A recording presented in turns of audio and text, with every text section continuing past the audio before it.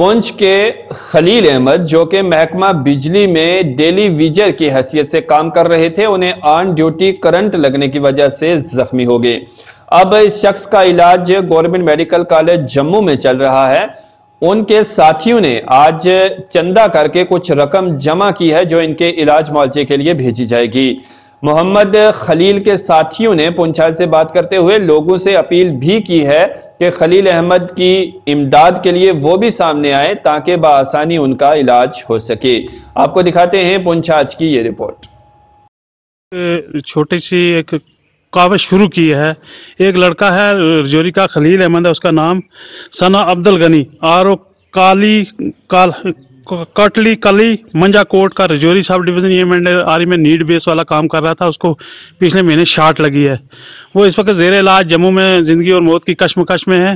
ہم سٹاف والوں، E M and آری سب ڈویژن پلانٹ پونچھ والوں نے ایک، ہم نے کل مشورہ کیا تھا کہ چندہ کر کے تھوڑا بہت ہم اس کو مالی مدد کر سکیں۔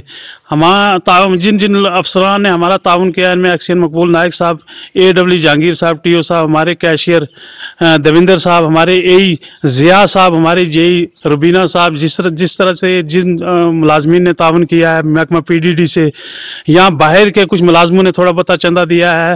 ہم سب کو اپیل کرتے ہیں کہ اس بیچارہ زندگی کی کش مکش میں جموں میڈیکل کالج میں داخل ہے، اس کی بازو بھی شاید کٹ گئی ہے۔ فوٹو بھی آئے ہیں، اس کا فون نمبر بھی ہے اکاؤنٹ نمبر بھی ہے وہ بھی میں بتا دیتا ہوں۔ ہر ذی شعور انسان سے میں گزارش کرتا ہوں کہ اس کو خدا را تعاون کرے۔ محکمہ کا بھی فرض بنتا تھا اس کا تعاون کرنا۔ ابھی تک مجھے لگتا ہے محکمے والے نے کوئی تعاون نہیں کیا ہے۔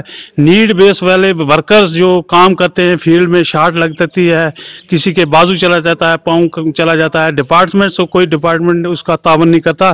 اس لڑکے کا جو اکاؤنٹ نمبر ہے، جموں کشمیر بینک، منجا کوٹ کا ہے، کہاں کا وہ خود وہ پتہ ہے، zero six one three zero four zero one zero zero zero zero three zero nine two اس کا جو فون نمبر ہے اس کے سانڈو کا بول رہے ہیں نمبر ہے seven zero five one zero four six eight seven zero میں تمام افراد سے جو بھی ضعی شعور آدمی ہیں ان سے میں گزارش کروں گا اس اکاؤنٹ میں جو مدد مالی کرنا چاہتے ہیں وہ کریں اور اس کو اکاؤنٹ میں پیسہ ڈالیں یہاں پنچ کے لوگ یا رجوری کے لوگ یا جموں کے جو بھی میری آواز سن رہے ہیں میں اپیل ہی کر سکتا ہوں بچیرہ زندگی کی کشمکش میں ہے تاکہ اس کا تھوڑا مالی تعاون ہو سکے اور میں ان افسران جو ہمارے ڈپارٹمنٹ کا ان کا شکریہ ادا کرتا ہوں۔ ہم چندہ کر رہے ہیں، اور بھی کریں، جو بھی تعاون کرنا چاہتا ہے کر سکتے ہیں۔